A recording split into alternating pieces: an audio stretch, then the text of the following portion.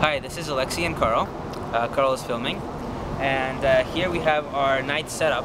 You'll see our uh, Impala is up um, on jack stands. The wheels are off and there are the discs. Uh, the wheels would usually be there and these guys will spin as we'll show you later. Uh, this way we can, you know, imitate, this way we can imitate that we're moving without actually going anywhere.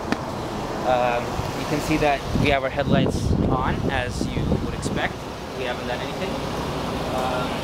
Inside the car you see that the dashboard is on. We're comfortably idling at uh, 5,000 RPM, or sorry 500 RPM and park. Um, the dome light comes on as you would expect when you open the door.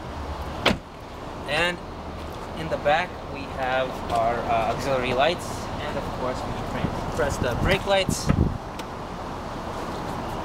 you can see that the brakes do come on or the brake lights. Okay, so now I'm gonna get in, uh, speed the car up and then Karl is gonna show you uh, what we can do.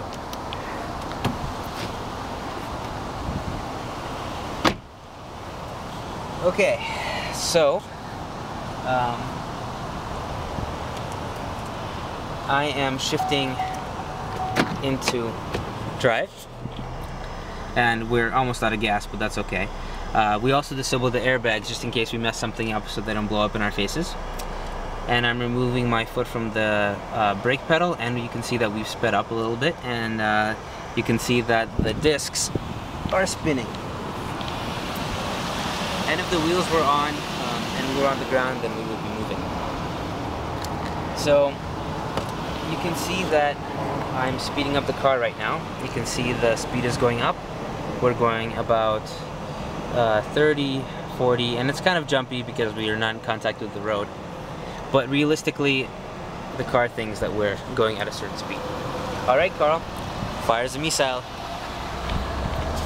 All right, now I have some uh, fun packets that I can send to it and uh, watch what we can do. So there's this fun button here called uh, Kill Light. Let's see what it does.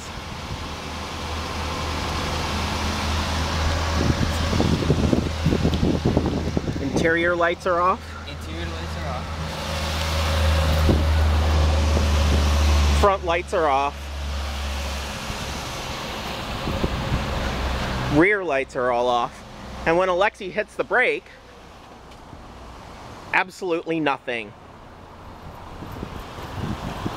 And you can see that uh, you can see that inside we have no clue how fast we're going. No idea. And let me just uh, shine a light.